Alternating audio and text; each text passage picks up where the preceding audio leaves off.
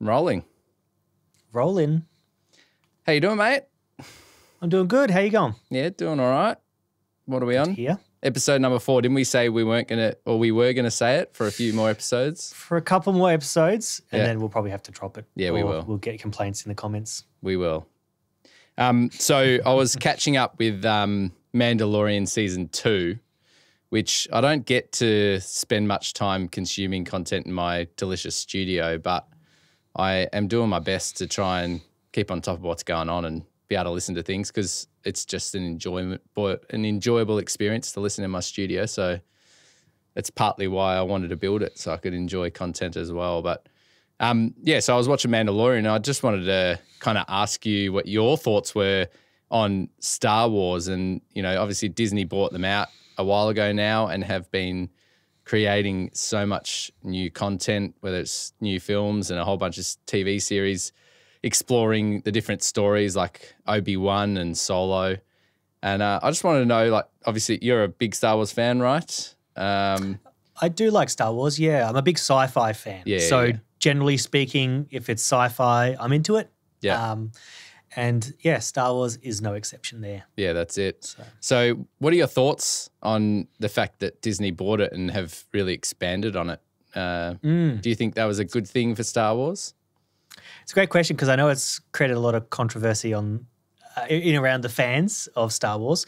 I am for it. I I say the more um, entertainment in this genre, um, the better. Um, I enjoy the Star Wars story. I like the characters. I like the the music and the production design, um, and I like the quality um, that the production team um, create on this story as well. And and Disney, out of all the different companies that you could want to take on, you know, a franchise or a, or a, a series of stories, they know how to make a thing good. So.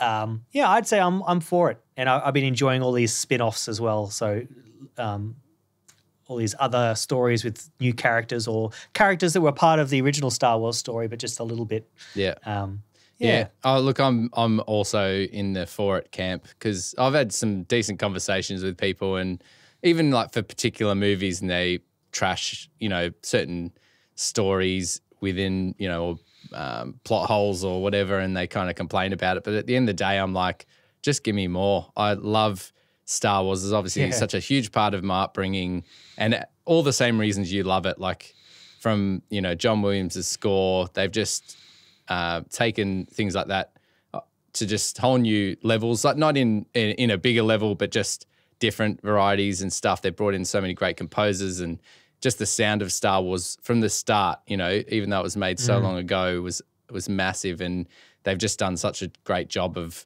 Uh, giving us a modern spin on that and using technology the way it was meant to be, you know, like, um, so yeah, I, I'm uh, again 100% for it and I'm like give it give me as much as you want. And even if the quality is not always really amazing when it comes to the story or whatever I just I I leave the experience every time just buzzing.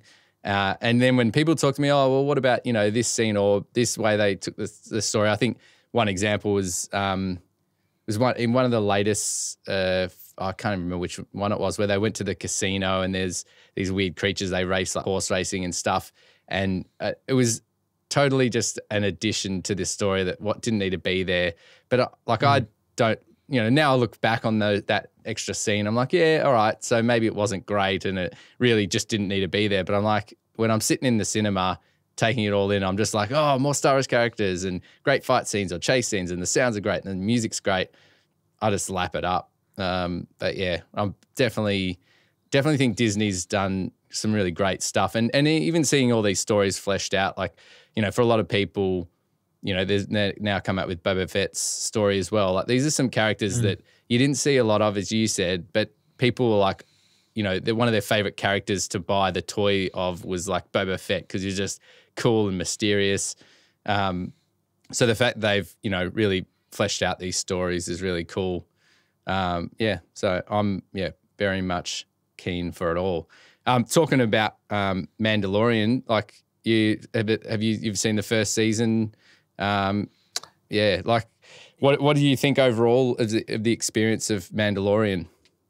Yeah. It's a good question, and I guess Mandalorian being a um, streaming service, um, a TV show, uh, I experienced it just here in my lounge room, Yeah. um, on my hi-fi system, and um, I liked it. I liked it for a few reasons. Um, I liked the continuation, obviously, of a Star Wars genre, um, and I liked discovering uh, Ludwig Göransson, if that's how you say his name, Yeah, the composer yeah. who who did the themes and uh, scored the first two seasons, I believe, um, with him and his team.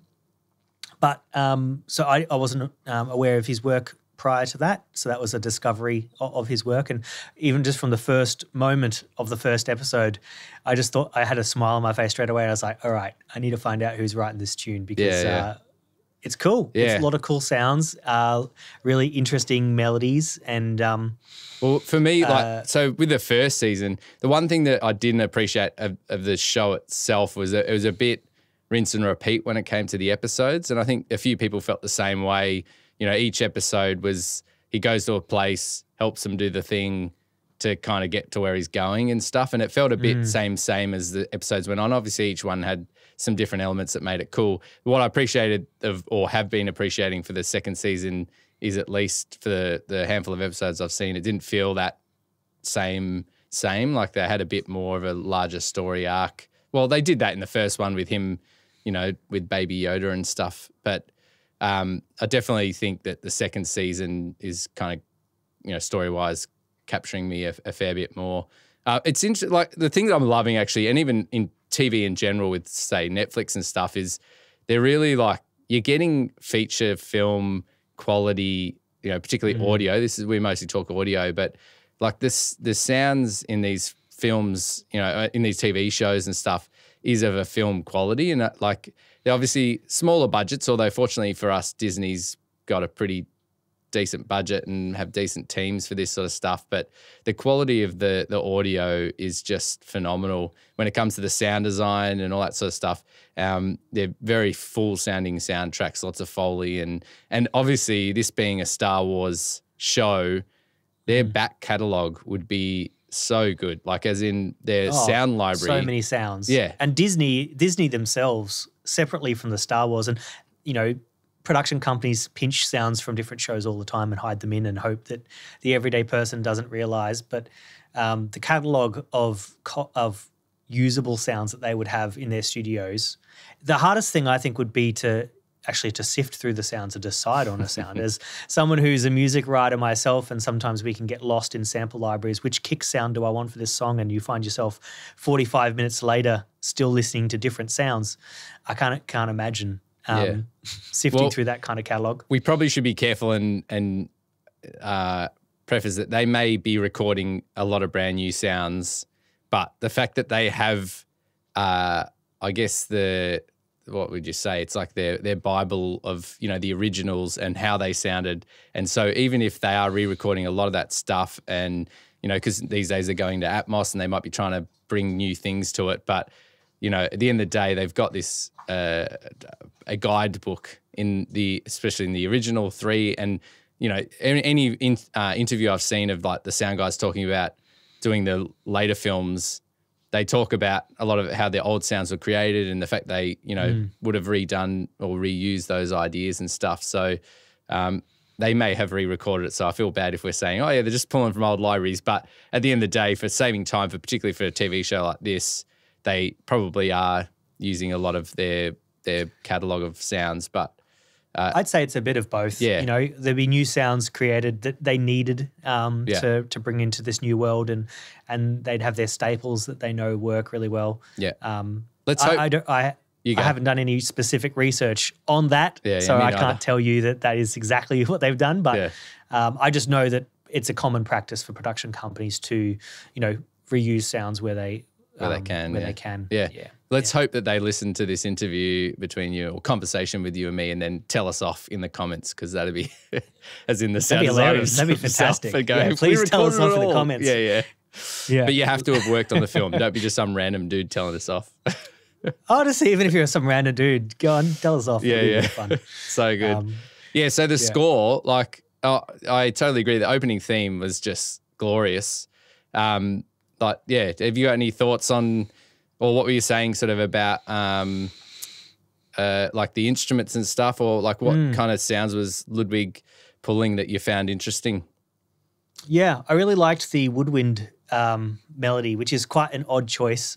Like my first thought was that's a really interesting choice. Um, and I did a bit uh, after watching the first few episodes. Um, like a couple of days later, I went on to, online to try and research and find out more about it and more about him, and uh, learned that he um, uh, used like a, a, a orchestral recorder. Um, Yeah, like a bass baritone- yeah, baritone bass or recorder, bass recorder. Yeah, So, which was really, really um, interesting. I haven't heard much music made from a bass recorder Yeah. or even a recorder. Yeah. You know, the, the instrument that we all learned in school and Yeah. and no one really uses for anything. Oh, what is that? Is that just an. Australian thing, or do you? Is it like? I would be interested to That's know good if yeah. internationally, because I, I was the same. We weren't at the same school, but recorder seemed to be that instrument. And I don't maybe because it's easier to play in the sense of it's not like a reeded instrument, but it seems like an odd instrument to just make everyone Just blow learn. air through it and Yeah. put your fingers better than a gaps. better than kazoo where you just you know pitch with your voice basically. I think um, if if your music teacher gave you a kazoo to go practice at home, your parents would uh, do things they're not allowed to do. Yeah, that's good. But um, no, the the score was really interesting because it was like a combination of orchestral elements that you would expect to hear in a in a Star Wars story. Obviously, this bass recorder that held the main melody, but played in this really um, uh, interesting way. Like it was these these figures that were moving up and down in scale, but they were kind of repeated. So they were sort of, um, but they they kind of had this like breathy, unworldly sound Yeah. to them, which was quite cool Yeah. um, and also um, like a very simple drum rhythm that felt very tribal, very Yeah. um, ancestral. Well, Um, the, the, they did say that the film was, or the show was meant to be kind of like a Western. I saw in the interview where they talked, it was uh, or based off like samurai films as well. But it did have that Western vibe. The da-dum, like you could dum da dum. You could picture him riding on a horse. Although You he could. rides, he rides. You know, in the opening scenes, I think of the first season, is he riding a big, some sort of big beast, and it's some got that. creature. You know, you could just picture. Um, you know, some gunslinger, which is what he is. He's a gun or a blaster s- uh, slinger.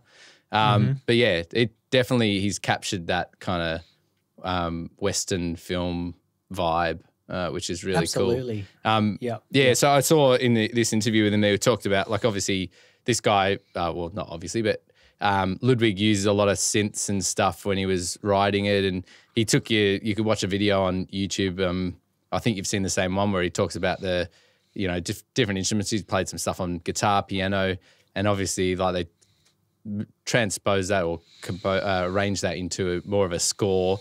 But when I was listening to the opening track again in my room, unfortunately, it wasn't in Atmos. It was only stereo, which I find odd Oh, because interesting. the show's mixed in Atmos, but they didn't mix the score in Atmos um, or spatial audio. But the uh, what was the same? But the, yeah, some of the elements of like the synths and stuff are still in there, um, uh, either assisting the uh, orchestra or you know an, a sound on their own as well, which is cool. Th- That's that brings me to a question. So if you're lis- if you're listening to in your studio a score that's just stereo, what happens in a 7.1 system? Does it just come through the, the left right speakers, Yeah. or does it do some up mixing? And Well, I can. a- so I've I've currently like I have different settings, so I can listen to it direct, which will give me whatever it is, the source. I can listen to it in stereo, seven point one, or Dolby Atmos, which I don't have the ceiling speakers at the moment, so it's only seven point one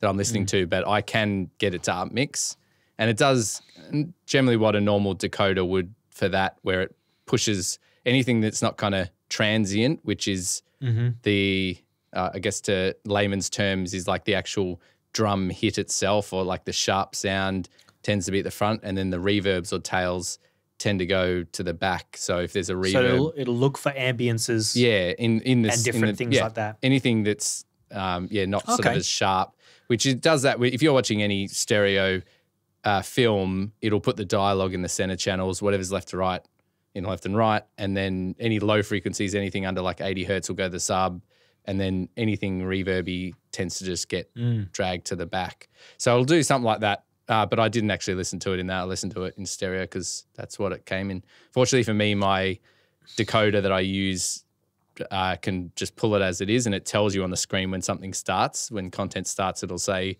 what the bit rate is, and then also what format it is. So if it's 5.1, and in here it's great. It does good upmixing of the 5.1 into um, 7.1 or Atmos as well. So yeah, Yeah, it was. That's interesting because I I've been listening to the score a lot um, just on Apple Music, um, but didn't realize it wasn't Atmos because I don't have Atmos or surround at my in my space. So obviously they have it in lossless. Um, Yeah. So Yeah, I saw if that. you watched our last episode, you'll learn how to turn that on and and appreciate the high quality.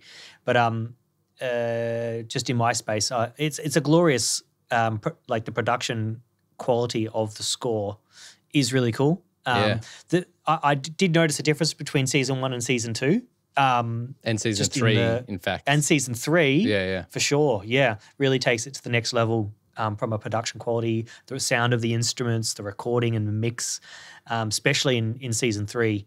Um, which isn't actually is- out yet, right? So it's just the score they've released, correct? I'm which pretty is sure yeah, that's the third I think not out yet. so. Uh, uh, um, I uh, it was a little while ago that I watched the um, Mandalorian, um, and uh, obviously just watched a, a couple of episodes just recently. But yeah, I haven't seen season three come out. But it's often that the um, soundtrack album or the original score Yeah. album will come out before the episodes. Yeah, For of all of us music nerds to to listen to and then um, be able to hum along. Yeah, Um, but not not to intentionally skip season two, but season three.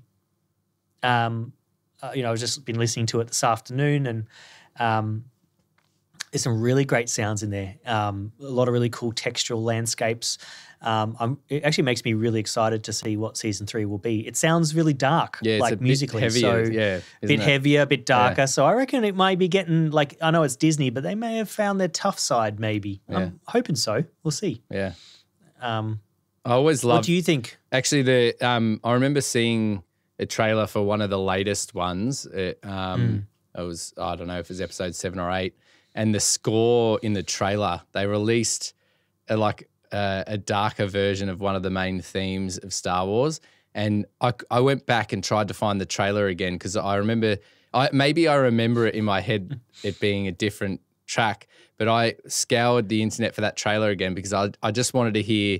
I have no idea who composed that trailer track because a lot of times the composer of a trailer score is different to the actual score of the film. But Yeah. it was just like I can't remember which theme it was. It- this is the problem. I couldn't even remember. I left there Couldn't it. after seeing the whatever the film was that I went to see. I was just like, oh, what is this score? Because it was just Should such a Shazam. yeah, I should have. think at the time, did no, you? I didn't. I did not. Because I just love like, and for me, hearing like Star Wars go dark and heavy, almost Mm. like Hans Zimmer version of Star Wars was, yeah, really, it was really cool. Um, yeah, I noticed that because when we were talking about the uh, listening to the, the score of the um, season three, is that the um, Joseph Shirley is that they've got a new composer for the third, and after doing some research, they obviously him and Ludwig work together quite a bit. Um, so they, I, I- I did some research on both of them as composers, and Ludwig had done uh, Black Panther. So he's done some hard hitting stuff. Black Panther. He did Tenet for Christopher Nolan Fantastic as well. Uh, and then he's done Creed, the boxing movie one and two. But then Mm-hmm. Joseph did uh, Creed three, and he's doing uh, Oppenheimer, which is Nolan's new film that's coming out in July or something. So they must work quite a bit together. Because I saw on the score on the um, the thumbnail that Lud- uh, Ludwig still gets credit for this one. Obviously, you know he's written the main theme, but he must be still co-writing some of the tracks or using the inspiration of the first two. They've still obviously credited him. Uh, but it sounds like they're a, a great team doing some really great scores together, or you know, or at least working together. Um, one thing I found interesting because they did, um, they recorded uh, season two, the because it was in COVID. So the first one had a seventy-piece orchestra uh, that they just do in, in LA with probably your typical uh, ring in uh, uh, orchestra for scores and stuff, but the second one they only had a Yeah. 40 piece. The typical ringing incredible Yeah, musicians oh, of of the course. world. Yeah, the ringing who Um, probably don't like even the best of the best. they wouldn't even practice it. They just go in and sight read and it'd be freaking awesome.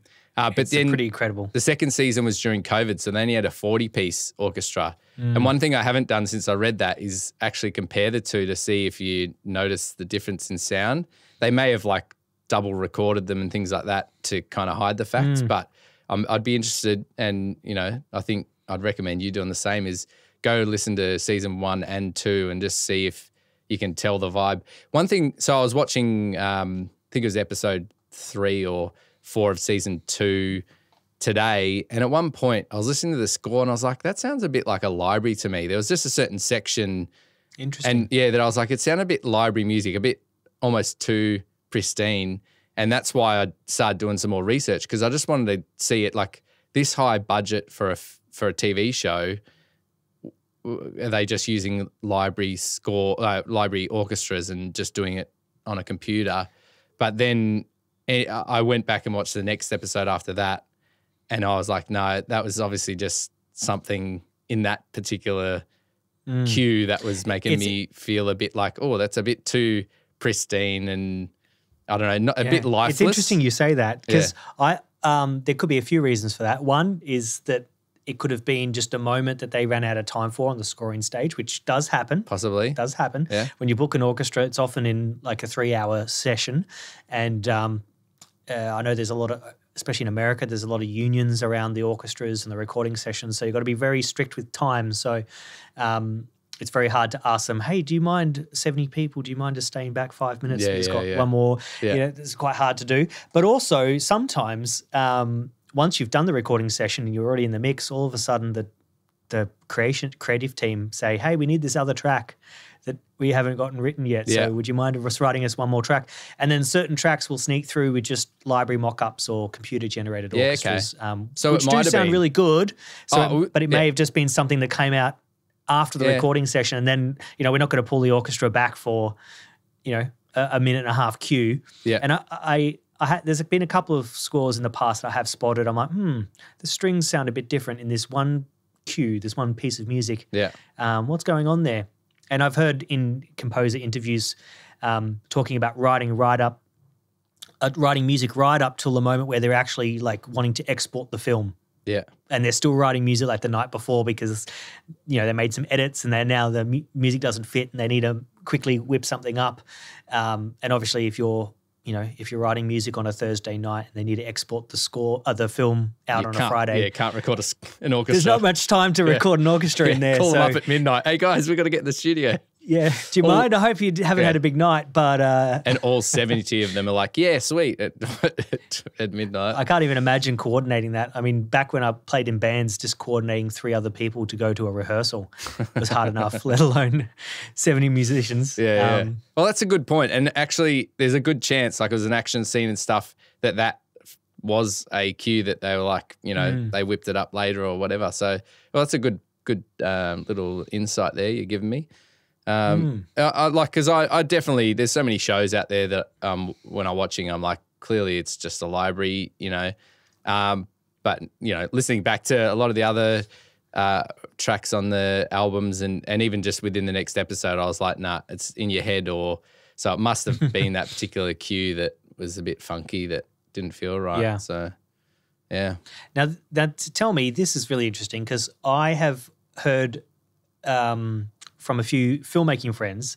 They love to talk about the technology that they use to film The Mandalorian from the from an image point of view, so the vision side of it. yes oh yes And uh, I don't know much about it, but I know you know a bit about it. So I want to know um, a little bit about these projection screens. oh hey, hey we've got another one Oh man, that is that's hilarious. so good I think Didn't one of my batteries is Yeah, that must Dodgy. be dead. Maybe that was one I gave you because that lasted about uh, what twenty minutes. twenty minutes. Yeah, Well, should we? When this is where we put the elevator music in. Dum da dum da dum dum da dum dum dum. Oh, that's oh, this is so good, mate. I thought we were going to be in the clear from dead battery vibes. Just chuck the one you had in before. Well, you're on your holding screen. Good thing All right, so we're back, Oh, but you I just need to refocus myself. Mm. Am I in focus? Yeah. I think I'm in focus. Good enough. Let me just double check. Um, Good enough? Yes. So, uh, yeah, I suggest, mate, you got to watch. So on the Disney uh, Disney streaming service, they've got a making of the Mandalorian, and I see that they've actually got one for season two as well. But I definitely recommend you watching the making of because they uh, and which I've heard there's one in Melbourne now, one of the even bigger one, but they built a room which has just LED panels in a circle. So they have a bit of a doorway, but they have LED panels that go all the way around a circle and then a roof of LED panels. So we're talking like, you know, modern video screens like you'd see at a concert and stuff. So it's not projected. And what they You're saying there's no gaps, so the whole thing is just like a continuous screen. Yeah, all the way around, full 360, except for one little opening, which I think they might even be able Little to close doorway, it. like the Truman Show. Well, I saw Is that what you're so well, yeah, yeah. they actually watched the video of um, Ludwig. Uh, how do you say his name again? Ludwig. Um, Göransson. Göransson, I, I could be hacking that. I'm No, no, sorry, yeah, Ludwig, if you're yeah, watching yeah. this. So there's a Um, video of him playing on the set, playing guitar along with the track, and then the doors close, and so maybe they can shut it off so it's more 360 degrees, which makes sense. So the reason they do this, Mm. and I'm not sure if they had the problem before they came up with the solution, but so you know, Mandalorian, his whole suit is shiny, like mostly his helmet is just one giant reflective dome, and I, I have a feeling I've got to go back and watch it again because it was so interesting. But they basically like we can't use green screen or Interesting. the issue with green screen. So if they green screened everything, when they put the fake backgrounds in, there'll be no reflections on his helmet, and what would be reflecting off his helmet is lights and the sound team, the boom, whatever. Well, he wouldn't have a boom because his helmet would have a microphone. But they discovered that there was going to be an issue. And what they do, I think, in the past is get the image that they've put behind him and they CGI place it on his head. And it would just take mm. forever to do that kind of stuff. And so they came up with a solution that this projector room, they project the whole scene behind him. So the mountains, the sky, including above. So the whole thing is the the the sky, whatever. But that because that is the lighting as well, you get this sense of like natural lighting. So if there's a sunset over mm. here, it's being projected, then it, it And get shows up. colours. Yeah, you get all those colors on his yeah. helmet, and it all feels natural. And and they can change. so they don't have to go to the actual desert. they They do don't have to cart all the gear to the No. desert and get everyone out there in the dust. No. So they'd obviously put a bucket load of sand on the ground or, you know, build some sort of set for him or whatever he's riding or whatever. He'll be sitting on a rock. They'd build the rock face and then behind him is just a projected image. And what is cool about this is they have on the camera, they have a little uh, a ball or a sensor. They have cameras everywhere that are picking up where in space the camera is. And so they have so that you get this parallax effect. So it's I'm trying to not be too technical, but if a camera, if there's a person here and the camera is here moving, the perception of the world moving behind him, if it's close to him, it wouldn't move that much, or is it a lot? It would move a lot. But if it's further back, the stuff behind moves slower than what's in front. Does that make sense? So if you've e- does. ever held a camera and you're kind of moving around, you get the parallax sensation of things are moving at different paces behind him. So the way they work that out, and they use uh, gaming computer sort of generated backgrounds, that when he Wow. moves behind him, the picture actually moves as well in relation to the way the camera's moving and the speed. So they're basically tracking in 3D the camera movements, and then the background moves according to how the camera moves. So you still get that real. Very cool. parallax vibe. It's like watch.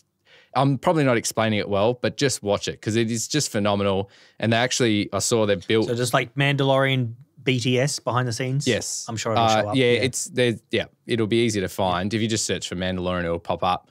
Um, but they've now built one here in Australia as well, so they've they've built the same thing, Hmm. and they u- I think they use it for a whole bunch of stuff. I don't think they were the original using that technology in a way. As in, I remember uh, what's there was a movie with um, Tom Cruise where it's him. Is it Oblivion? Where him and there's one Love other woman or something, and he's and he's sitting in his little space pod or whatever on this planet, and all the screens outside the window, or sorry, all the location or the clouds outside his windows are just projectors. But they, I think they use projectors for that, not LED Mm-hmm. screens. But they got the same thing where literally they could just film all day long and have this beautiful sunset and not worry about it. It's the same Mandalorian. They didn't have to wait for time of day. They That's have a good point. half an hour window to shoot and then have to wait for the next sunset, you know? Yeah, because anyone who's tried to take a photo of the sunset, uh, you, you get like a couple of moments where the sunset is like perfect, Mm. and then if you missed it, you missed it. And imagine trying to film a scene, like a whole scene, and you you want ten minutes or fifteen minutes or to exist at sunset. Yeah. Um, you kind of got one take. Yeah. The, but the thing about shooting a movie or a TV show is um, each time you get another camera angle, you're Yeah. resetting the whole thing. Yeah. So what might appear to be a 10 minute scene or a five minute scene in the actual edit in the final product may have taken a handful of hours to actually shoot. Yeah, and they they can then also rotate the background, do whatever they want with it. So if they feel like they want the light to be a bit better for the other person, like the the reverse shot, they can just adjust a little bit, rotate Mm. love around, this. or do whatever they want with it because it's not they're I- not I limited by it. You know? I want one back here. I want one behind Yeah, me. yeah. I want this like Have you seen? Actually, there's a funny uh, video where a guy is in doing MMA fighting, but he's in. Have you seen that clip? And he's in a No. Zoom meeting. He's got a laptop attached to himself with a a green screen that's pretending to put an like his office behind him, but then he's in the middle of an MA, MMA fight, and there's a guy beating him up, and all the, all the people in the meeting are seeing his face in his office just getting punched and stuff. It's just the weirdest thing. Of like, is that you know? So you could do that, or you know, Hmm. get yourself like your backdrop looks almost fake with your all your expensive keyboards. You know, you could just be Yeah. faking that right now. I'm just in my bedroom really. I don't have any of this stuff. It's Yeah. just all, Just a white all room. added on. Yeah. Yeah. Yeah. I love that. Um, but yeah, so the one other benefit, I guess, of having that uh, setup is sound, right? So let's take it back to sound. Is again, like we were talking about with Avatar and the fact that they they would have been shooting mostly on, or a lot of it in green screens in studios and stuff. Uh, this was a, again the same deal, and they probably had less fans and things because there's not lights or other stuff. But the, fortunately for Mandalorian himself, he would have had a microphone right in his helmet, and so they can get nice, clear audio for him. But the set itself is just would be reasonably quiet. Although maybe the screens, I, the LED screens I've worked with, never had big fans in them or anything like that. But you have a great it would definitely set. be quiet, quieter and more manageable than being out in the desert with the wind and Yeah. all the other elements going on.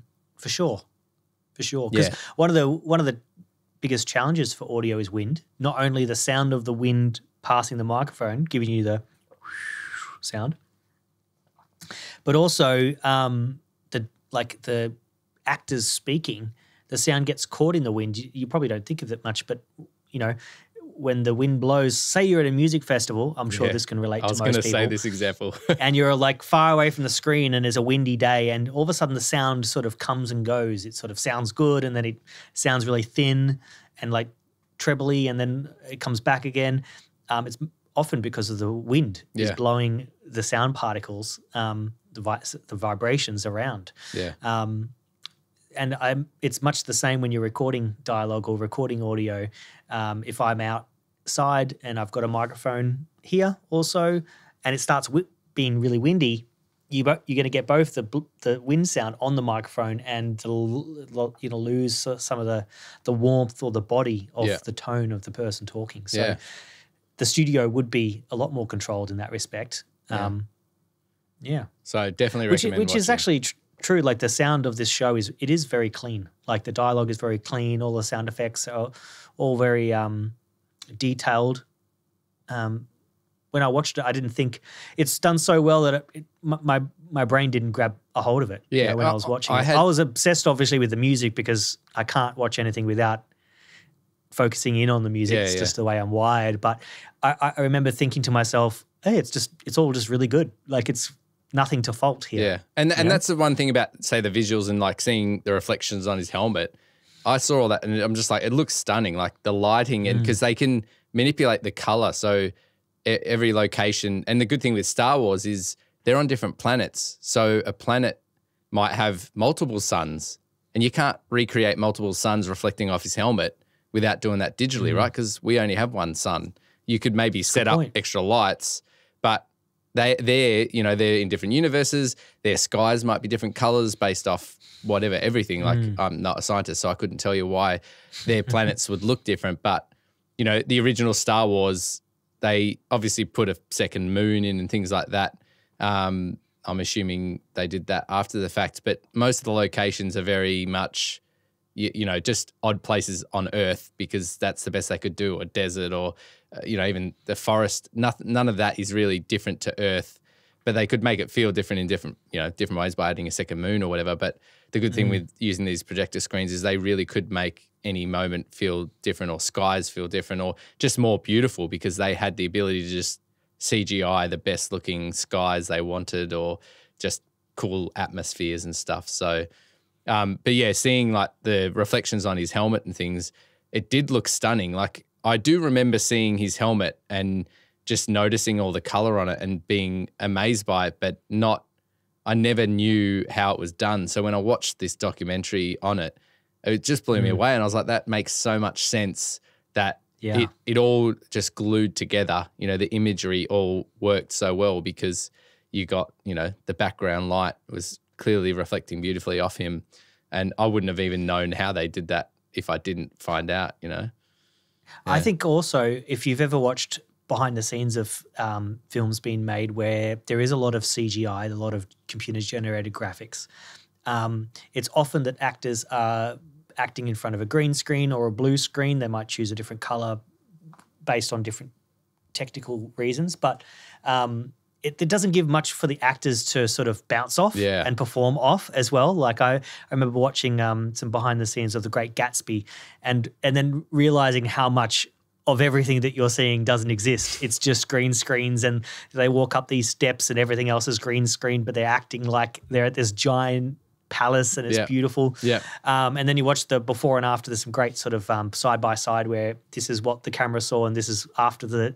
um, animation team finished with it. Yeah. And it's pretty mind blowing if you haven't seen it. Yeah. Um, but I- imagine that would be very hard on the actors yeah, um, and also on the lighting team as well, and everyone else who's creating the look to go. I'm imagining that there will be this here, so I need to do this because of what that might look like. yeah, yeah, They're actually responding to a backdrop, so they are actually seeing the backdrop in this new technology with the screen. They are actually being able to feel like they're in the environment that they're in. Mm. So, imagine that's a lot easier to act in. yeah, Um, yeah. That's for cool. sure.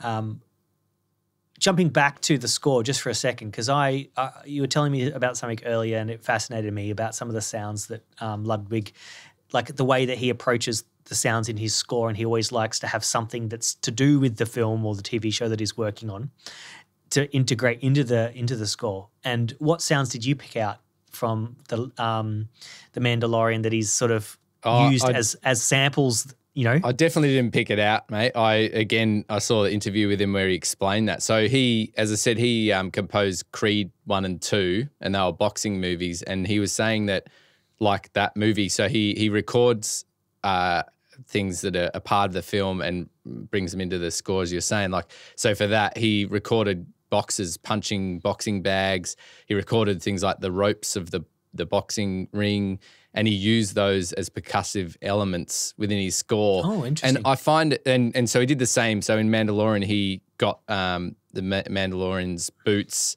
and you know made sounds with that. Obviously, stomping on the ground and doing other things like that. But I, I find that kind of stuff interesting in the sense that, as I said, I didn't pick any of that stuff. So I, I haven't extensively listened to the score outside of the show. Uh, so it is a bit harder. You know, I know you love to just study a score, and I'm getting more into it because of you. Like I'll chuck on, you know, a bunch of Hans Zimmer scores and a few other scores that I love just uh, when I'm in a score mood, or I listen to Two Way, um, who do sort of trailer tracks and stuff. But I don't tend to just sit and meditate on them like you do. And maybe I would have heard them, and I now am Yeah. going to go back and listen to for that stuff. I'm gonna I'm gonna go back and listen to that sort of stuff as Yeah, well. but I, I find like stuff like that.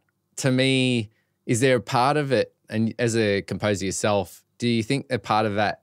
Obviously, the the boxing things makes a bit more sense if you've got an action mm. scene, maybe having some boxing sounds as percussion because of its nature could be quite percussive. But I feel like, no offense to Ludwig and other composers like it, is that just to, so they've got a cool story to share when they get interviewed about the the the score that they're like, oh well, I, you know, it seems like a for me a kind of thing you just do so you could say, well, that's how we created that sound, or oh well, the one thing we did that was cool that was different to everyone else is we got prop sets and turned them into sounds, you know. I look. You're probably not wrong a little bit there. I, I think I think there's there's layers to that answer. I would I would speculate, and I don't know because, um, but I would speculate that there, there is a little bit of the story because it's fun to make a story. Yeah. I think it's also um, when you're working with um, big directors and producers, you know, you they, they want to know that you're doing a little bit more than just dialing up your favorite sounds on the computer. Yeah. There's a bit, of that like creation side, like what are they getting that's unique to their film? What are you going to give them that's a little bit Yeah. special that you're not going to use on other projects? That's that's their sounds. Yeah, yeah. Um, I also think that making sounds at the start of a project is almost like justified procrastination because it's it's like writing music um, can be quite daunting. Mm. Writing music to a film where you're going to write music and deliver it to a creative creative team, and they're going to say we love it or we don't love it or change this or you're completely wrong and that's not what we're after, is quite daunting. And you know, hear, hearing composers talk about it in interviews, there, there is a procrastination period of like, but it's not all procrastination. A lot of it is thinking it Yeah, and Letting, letting the ideas marinate. And I've heard of other composers creating samples as a way of just giving themselves time to get in amongst this um, the experience of this film Yeah, yeah. to let the ideas come and then they have some unique sounds that inspire them that are fresh because also remember like you know strings and orchestras and, and certain synth sounds have been used so many times Mm. you know when you sit down at the keyboard and you play something and it, it sounds like the thing that you just did but you can't use those notes because that's that film Yeah, yeah. there's something about new sounds or um, that sort of um, Can I add a fun Help. fourth? yeah Can I add a fun please fourth? do. uh, that they're justifying their. So he was brought on uh, in pre-production, justifying their Yeah. wage and time. Like I know some of these guys work on these films for a year, and they'll be like right there at pre-production. So when they're drawing the imagery, you know, drawing um, not the um. Oh, they'll just be like creating the artwork for what the spaceships could look like and all that sort of stuff. And very much in the the script might be written, but it's like, what does this look like? You know, the the playbook, I guess you could call it, of what the film is. So the composer's like, yeah, and we're going to add the sounds of his boots. And, you know, like I, it could be just that thing of almost justifying the exorbitant sales pitch. Yeah, the, and the exorbitant amount of money and the time that it's put in. It's like, well, let's add. And I think your point's even just saying like sounds that are unique to this production, and you know that, and that I think is a great selling point. And you would bring, I think. uh directors and producers would probably lap that stuff up, right? If you were bringing in a bunch of elements that were really unique to their project. Um, It's also yeah. fun. Yeah, I mean, you're right, All, is. all the Yeah. projects, all the projects that I've worked on, I've always wanted to make something, some sound of my own that I, I've been able to bring into it. yeah, And sometimes they're they're strange sounds. Like you'd be surprised. This the like I I, I worked on a fashion. Um, I made some music for a fashion shoot. Um, so it was um, just original composition for to go against like a fashion video, and the inspiration for it was sort of nature and all of these crazy hairdos built with twigs and all this stuff through the thing and Yeah. look birds nesty and stuff and it was pretty crazy Yeah. hairdos Yeah. like um, and so I went out and grabbed like snapped off some bushes um, from a tree and stuff, and I would do percussion just using branches hitting against my kitchen bench to get like a bit of the sort of percussive elements that I wanted to use and I wanted to channel in nature. So, um, and even like crunching leaves yeah, and different things, different nature elements that I could mix into the other sounds that I had. And did I need to? No, probably not. Yeah. Did it improve the piece of music? Maybe a little bit. Was it fun? Yeah, it was a lot of fun. Yeah, that's true. So, And- so maybe it is. You know, Yeah. maybe that's the element. yeah, and now you've got why the cool do it. story to tell, right? Like at the end of the day, people Well- listening to that probably thought it was just shakers and other things like that. But you're like, now you got a cool Yeah. story to tell on your podcast. You know, That's right. Yeah, Yeah, coming I'm back to finding it your first interesting, point, the so- cool story. Yeah, yeah. So that's it. yeah. I love that. That's so Um, good. Well, I think we've found our way to um, Ben's top tip for the for the um, episode. Yeah, okay. I want to know if there is anyone out there who um, hasn't watched any Star Wars, which uh, maybe you know when I was when I was uh, in my twenties, I would have thought to myself, who hasn't watched Star Wars? But it's a strange world we live in these days, and there could be some peculiar people out there who haven't watched any. Um, but I would love to know what order, because there's so many so many sort of episodes now, movies and whatnot. What order should I watch the Star Wars episode films if I had never seen any episodes before? What would your be be your recommendation? Yeah, okay. So I heard um, a while back that there was there was this formula for any newbies to start watching the film. So let's just talk. Like an just, official an official formula. Uh, it's not an official formula. So it was. Uh, it came up. I, I had to write this down. Ernst Ryder is the guy's name, or that was his forum name. So he's in a Star Wars Yeah. forum, and he was the first to say this, and it obviously blew up because everyone was like, "That sounds great." So this was before all the new films, as in we're talking. So at this point, four, five, and six. So the originals were out, and one, two, and three. So George Lucas's. This is pre Disney. Um, so the six. So this is written then, but I still think it it could apply. So we're not talking about any of the extra shows. So there's like Clone Wars shows. If you want to know what the best order to watch all that stuff in, you really just Google it on the internet. But because there's so many offsprings of things and uh, animated series, all that kind of stuff. So if we're talking just the main films, which there's what nine of them now? Yeah, nine of them. hmm So we're gonna. Uh, I'll, I'll talk about the extras later. But what you want to do is to get the true Star Wars experience as a, a newbie. Is you want to start from four, which is A New Hope, and that's the one that everyone saw the first time. That blew everyone's minds, and maybe these days it may not blow your mind as much. So that was the first one they actually released. they released. but yes. it was actually it was actually episode four in the story. Yes, episode four in the story, and that is uh, you know featuring Luke Skywalker. Uh, so a New Hope start, and then next you go into the next one after that. So episode five, which is the Empire Strikes Back, which most people would say. I don't think George Lucas actually directed that one. Most people say that that's the best mm. Star Wars, or at least it was the best. It was a you good one. yeah, I think everyone sort of claims, and I like I loved it. I thought it was yeah, it definitely had a different vibe to the first one. So you go four, five, so Empire Strikes Back next, and then you go back to episode one, which is we're skipping the last one of that first generation, which was so the last one was Return of the Jedi, um, and so which was technically episode six. So yes, so you're saying we're Four, watching episode four and five, five, which are the first two ever released. yeah, And And then, then there was back- the sixth, Yep, but we're going to skip skip that, and yep, put that later. Yeah, we should probably almost Okay. put this on the screen so people can see. But no, you Yeah, explain yeah. it well. So you go back to the Phantom Menace. So this is going back and telling Darth Vader's story, right? Mm-hmm. And so most, uh, some people, if you ask, they'd say skip episode one, the Phantom Menace, because there's a lot of fluff. It's not important to the story. There's some really annoying characters in there. One being Jar Jar Binks, but I would say still watch it. And I was one of those people that was like, I still loved it because that for me was like, I'd already loved the first three. I was growing up, and then they brought those out, and I'm like, sweet, we get modern day Star Wars.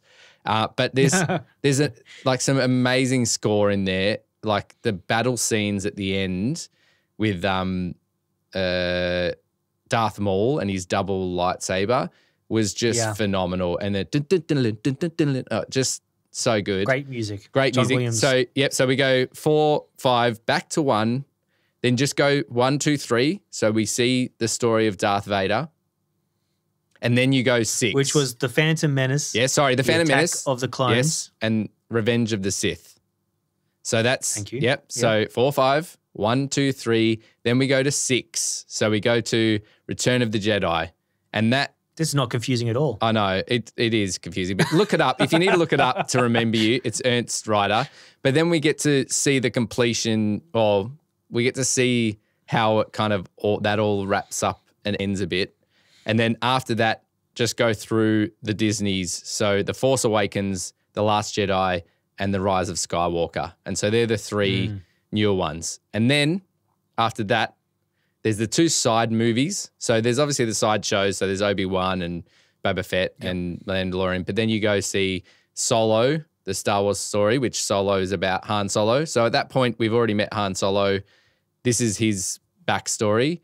And then there's also Rogue One, uh, also called Rogue One, a Star Wars story. And that is actually in between the original three and the new three. But it's not New three, uh, sorry, six. sorry. So that's in between four, five, six, and one, two, three. So I, it's definitely not important to see it in between those. I think let's not muddy it up. Mhm. Um, this is what I read. Like I went back and looked up who like came up with this form or this, I don't know what you call it. Uh, and when I saw it, the uh, the person commenting on this uh, on Ernst Ryder's order said that it's save those till later because obviously you're still Yeah. then going back and and it gives you some extra sort of like fills in a few gaps, but it's not vital to the kind of core nine films that we all know Yeah. and love. So, do we Yeah. need to repeat it? I don't think we do. If you need to look it up, I don't think we need Ernst I don't think we need Ryder's to order. Uh, but I definitely think, and I, I like looking back when I heard about this, you look back and you go, yeah, actually, that for any newbie, that is definitely the best way to go about it. You get, you know, great back, like it's, you almost have in the, so once you've started seeing the the original four, three, well, the original two, I guess, because we said four, five, you get to kind of go, oh, we're going to go to the backstory. You get the backstory, and then you get this final big ending with six. Um, and then obviously we tack on the last, the latest three that um, Disney brought out because you know they're not important to the course original sort of six under George They're Lucas, extra but they're just so much fun. fun, aren't they? Yeah. Like, They yeah, are. they're just great stories, great characters. Like all the new additional characters are so good. The new creatures they come up with, like the cameos in it, like because uh, that's the one great thing about Star Wars. And every interview you see with all the the latest films is there's so many actors that are like that. Star Wars is the reason I became an actor, and to be in mm. one is just like the pinnacle of my career. Um, so it's just yeah, great, great to great to watch. So that's my Yeah. uh, top tip. Hopefully, it didn't Nice. confuse too many people. And if you haven't seen Star Wars, you're an idiot. Go and watch it. Um, That's a bit harsh. all right. Maybe people just were recently born. Well, maybe not recently born, but maybe they're younger people that that I'll, went around when the New Hope and stuff was released. yeah, but I wasn't around, was I? Like how I would have been very small when they came out. That's true. In fact, that's a I don't think I was born for the. For, I don't know. I don't. I'm not. I'm All not. I'm not a, a knowledge nerd when it comes to Star Wars, but I'm just a very avid fan. movie lover. Movie lover. Yeah. Anything quality Yeah. and as you said, like sci-fi. I just. I'm a huge sci-fi fan because I think the idea that like for the soundies and stuff, everything's come out of someone's imagination. Like I, you know, a Mm. great drama that's just captivating script and a- amazing acting is great, but I like when a whole bunch of people get in a room, or you know, particularly it starts with one person writing it, but it's like they write this thing, but then a whole team of people come up with like what it looks like and what it sounds like, and you know, the score, like, yeah, It's it a lot of great sound Yeah. opportunity Yeah. in sci-fi. Yeah. because and it's often that it's it's either set at a different time or on a different world or different things like that. So there's a lot of playfulness that can happen Yeah. from a sound perspective. so good. Um, and scores, uh, the music is often um, th- there's often more risk taken into Yeah, for sure. um, i- musically from the sound or the writing in sci-fi compared to other yeah. genres. And again, Not like, always. Don't come at me, your comedy guys and your action guys. But um, sci-fi is where it's at Yeah. when it comes to music. Yeah. Um, well, let's see if we maybe we uh, get anyone listening to tell us if we're wrong, because I'm sure they will. But uh, you've got two sci-fi fans here, so hopefully we don't. We, we'll try and uh, see a broad range of content and talk about that. Uh, so we'll keep yeah, it. we'll keep it balanced. yeah, that's it.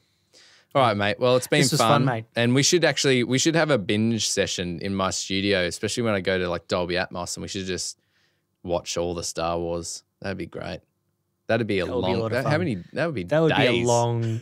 Be days. We'd have to have Yeah, a weekend. That would it probably would be. Probably have to take like two weeks off Yeah. work and just like that'd what be if it. what if we just watch the latest ones? Dolby Atmos. We'll watch the because I'll be mixed in Dolby Atmos. We could watch the Yeah, latest three or something. Anyway, yeah, no, that'd be fun. all right, mate. It's been great to chat sci-fi with you. I've loved it. Absolutely. Right, we'll see you soon, eh? Alrighty, see ya.